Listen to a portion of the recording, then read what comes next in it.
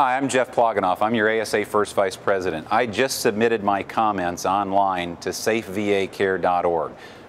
As an attendee at this annual meeting, you have no more important job to do than do exactly what I did. Take a stand for the safety of our veterans. The people who have taken a stand for our safety in this country need to be protected. They are being threatened. The VA is proposing independent practice of all advanced practice registered nurses, including nurse anesthetists. Not just primary care, but in the setting of acute, perioperative, and critical care, the VA is proposing that nurses would provide that care independently. They may do this if you don't speak up and stop the line and help remove our veterans from the breach of harm.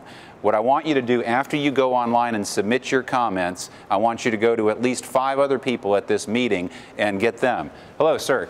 Jeff Plagenhoef. Blair Smith. Nice to meet you. I want you to see our kiosk here to help protect the veterans. I need you to go online here and submit your comments to the Veterans Administration explaining to them, in your words, why anesthesiologists are essential to protect patients from harm.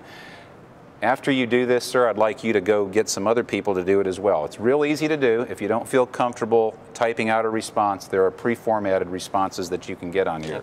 And uh, I want you to know after you've done this, you'll get a badge, a banner on your name badge to show everybody that you've taken a stand. Anybody that you see at this meeting without this on is an opportunity to help protect veterans. Additionally, we have ASA staff, Nicole here, Look at the name badges of people walking around with tablet PCs. They can assist you in submitting comments. If you don't want to find one of the kiosks, they can help you do it. It's a very, very easy to use platform and we've got the help to facilitate you in submitting your comments. Please help us all take a stand to protect veterans. We need every ASA member, all 52,000 members, to stand up for safety for our veterans. Thank you.